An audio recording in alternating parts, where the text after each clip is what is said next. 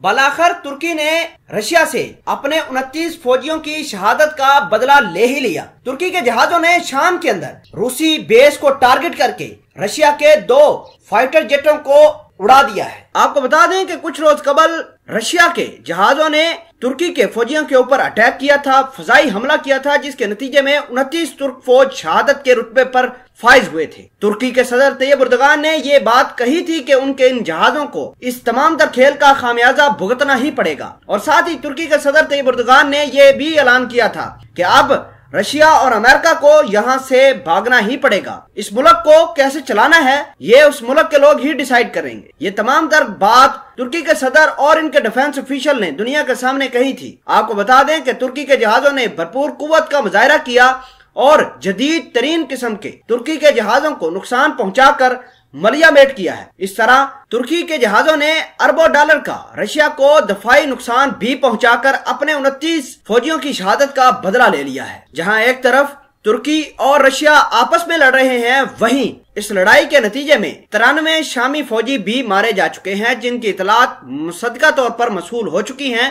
کہ فضائی حملوں کو دوران شام کے ترانوے فوجی مارے جا چکے ہیں۔ پچھلے دو روز سے شامی صوبہ ادلب میں ترک فوج نے بھرپور قوت کے ساتھ پے در پے حملے کیے ہیں، جس کی وجہ سے شامی فوج کو بھی بھاری نقصان ہوا ہے اور اس کے ساتھ ساتھ رشیا کے دو بڑے تیارے، جس میں ایس یو ٹوینٹی فور شامل ہیں، وہ پورے کے طور پر تباہ ہوئے ہیں، جبکہ اربوں ڈالر کا روسی ساختہ مزائل دفاعی سسٹم کو ترک فضائیہ اور زمینی فوج کی کاروائیوں نے تباہ کیا ہے۔ آج پھر ایک تازہ ترین ڈرون حملہ ہوا ہے، جس کے نتیجے میں انیس شامی فوجی جاں بحق ہوئے ہیں اور رشیا کے دوبارہ مزائل سسٹم کو بھی نقصان پہنچا ہے۔ دنیا اکثر اوقات یہ سمجھتی ہے کہ جنگی صلاحیت ہی سب کچھ ہوتی ہے۔ دنیا یہ بھول جاتی ہے کہ جذبہ جنگ بہت زیادہ ضروری ہوتی ہے۔ یہی وجہ تھی کہ افغانستان کے اندر طالبانوں نے جذبہ جنگ اور ایمانی جنگ کے ساتھ امریکیوں کے ساتھ لڑے۔